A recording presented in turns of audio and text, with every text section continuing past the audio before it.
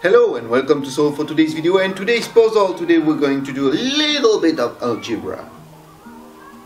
So to do this we're going to use a number x that is actually a real. You can choose any number, any real number. And we're going to prove that any real number is actually a positive number. So how do I do this? Well, it's very easy. I put this number x to the square, which is obviously always positive. Then I'm going to use another power. I'm going to put this to the power of the half. If you don't know what is the power of a half, it's actually the same as square root. So, which is equal, of course, to 0 to the power of the half. Now, what do we have here? You know the rules for the powers.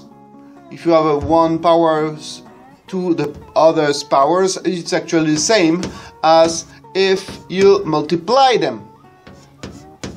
And of course, on the other side, 0 to the power of the half or the square root of 0 is 0. So we have this, and we know that 2 times a half is actually equal to 1. No mystery there. So let's do this.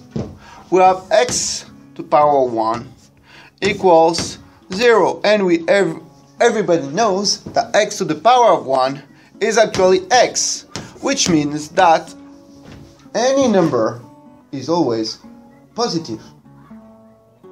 So, this is really wrong. We all know that not all numbers are positive. So my question is, what did I do wrong? Which step? Or which steps? I hope you enjoyed this puzzle and see you next time for the solution. Bye bye.